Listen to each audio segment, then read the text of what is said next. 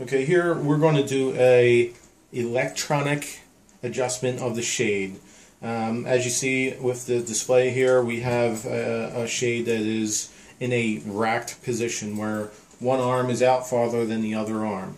So what we're going to do is we're going to take this actuator arm and extend it so it's the same length as that and then we're going to do some resets to get it back to the home position. Now to explain the controller a little bit, we have power coming in from the boat. We have this uh, output for uh, controlling the actuator, whatever actuator is plugged into this input. Um, dip switch number 5 will control that, uh, that actuator. And on this output, to whatever actuator is plugged into this output, this uh, position would be controlled by dip switch 6. So what you would do during this uh, adjustment is be using dip switches 5 through 8 to do a electronic adjustment. So right now what we're going to do is we're going to bring out the uh, actuator arm so that it is to the same extension length as I described earlier. So since this arm over here is plugged into the middle input, as I uh, stated earlier, we're going to turn dip switch number 5 to the on position. So right now they're all in the off position. We turn 5 on so it's all by itself. Okay? And then from there, what we're going to do is we're going to extend this arm out until we get it to be uh, in line with the other one. You can if you like, what you can do is you can take a measurement to make sure that both sides are uh, to the correct measurement to be equal with each other. And once you have that uh, equaled out, you can basically now have to do a, a reset to clear out the memory.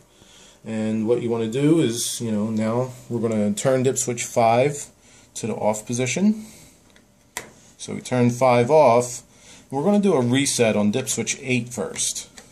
Okay, 8, 8 is on, and I'm going to press the reset button. You see the green light come on, and it'll go out when you release, and then turn 8 off. Okay, so we cleared out any uh, uh, memory of um, that was making it misaligned for whatever reason, voltage drop, uh, anything of that sort. So now we're able to retract the shade um, and so we're going to retract the shade.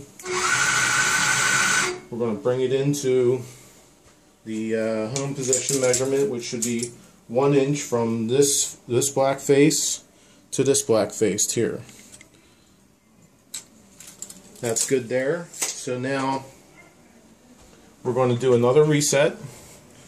This time we're going to do it on, on dip switch 7 dip switch 7 is a full retraction reset. So I turned it on all by itself, press the reset button, turn dip switch 7 off. Okay? And that will complete the reset now. And that's the, the retracted position of the shade. Everything is operational again. So just to go over the uh, dip switches again, you have dip switch 5 which will control the actuator that's plugged into this middle wire here. You have dip switch 6 that will control the actuator that's plugged into this wire here, and that's controlling them independently. And now dip switch 7, when you turn that on and you use the reset button, wherever the shade is sitting, that's where the controller will be reset to know that that is a fully retracted position. Now, dip switch 8, when you turn that on and press the reset button, that is telling the controller whatever position the shade is in is now the fully extended position. So you can basically manipulate the shade in any manner you need to using 5 through 8.